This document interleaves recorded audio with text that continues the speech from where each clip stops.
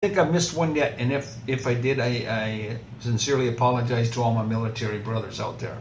Um, Captain Boomer's podcast has always been and always will be a military appreciation station.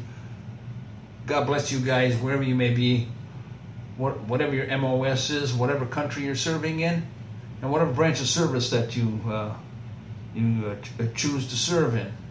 God bless you guys and gals keeping us safe, keeping our freedoms back home, keeping us uh, all safe. Uh, God bless you guys. You're a very, very special group of people, without a doubt. Thank you very much for, for serving our country. And now we even need you more, more probably than ever, because things are just uh, getting a little crazy. Are they not? We can only uh, pray to the big guy and, and, and hope that he's going to get us through this all right. And yeah, and that's about it. God bless all the nurses that were in Vietnam. God bless all the Donut Dollies that were over there um, looking after us, uh, mending us up, saving our lives. God bless you, gals. I know you don't get enough recognition, but uh, you'll get it with me. Uh, you'll get it with Captain Boomer's podcast. Anyways, the HGO comedy. That's what we're called right now. Captain Boomer's HGO comedy.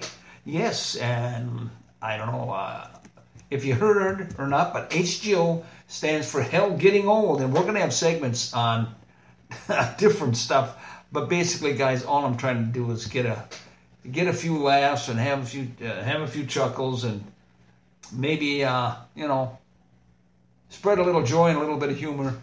Lord knows we need it. And uh, uh, this is the longest show that I've ever done. Uh, I've never done a show this long, and you'll probably are saying, oh, no wonder, duh. Uh, but anyway, it is what it is. God bless you.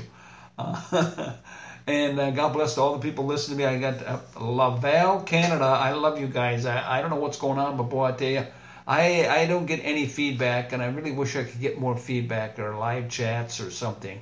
Um, uh, but anyway, Laval, I don't know if I'm pronouncing it right. Laval, uh, it's in Canada. It's a small town. I think it's outside of Montreal. You guys have been listening to me uh, kind of almost semi-religiously, and I, I really appreciate it. I, I really need more, some staunch listeners out there and uh, whatnot. And maybe drop me a line or two.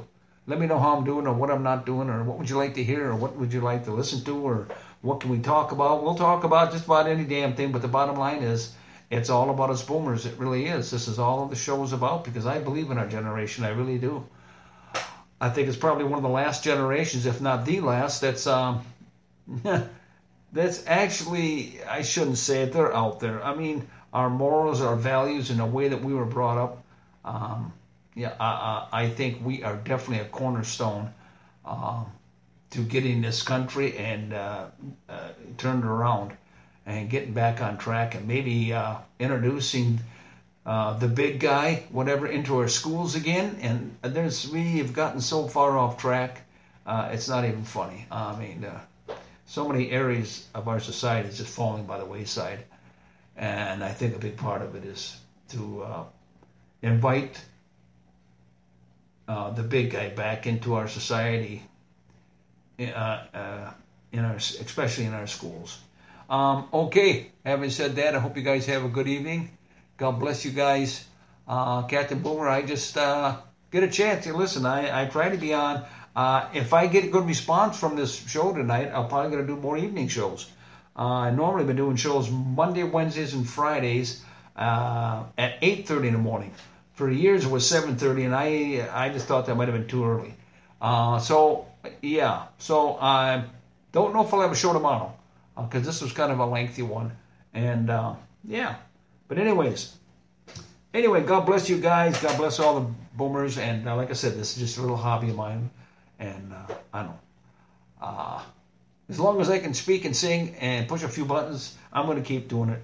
God bless you guys. Take care of yourself. Wear your mask, damn it, please. That younger generation, you all should have your ass kicked or a kick in the ass. What's wrong with you? Oh, God, it just Oh, she's these 24 year old mothers walking to Target or Walmart, whatever.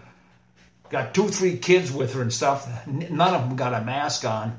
You know, oh, I don't get it. This is what's going on. This is this is a big part of the problem. Nobody's on the same damn page. That's the problem right there too. The testing fine and all that, but still, you can't have different states doing different things. You're either all on the same page. You know, we're either all going to be on the ship, say, uh, you know, and be okay, or we're all just going to go down with the ship. You know, it's just let's, uh, you know, let's just uh, call it what it is. There's a lot of greedy, young, stupid kids out there that still want to drink and party. in the bars, I don't get it. The bar should be the first thing that is completely shut down. Every frickin' bar in the country. Oh, jeez, I wonder why. Oh, you ever try to drink and eat? Well, eating too, I guess, to a certain degree. I mean, you know, you got to take your mask off. But anyway, I'm talking rat and raver. Anyway, did I have a good show out there, guys? What do you think, huh? Thanks. I gotta get out of here, guys. God bless you. Take care of each other. God bless you. I'm gonna di di mau, baby. I'm gonna di di mau.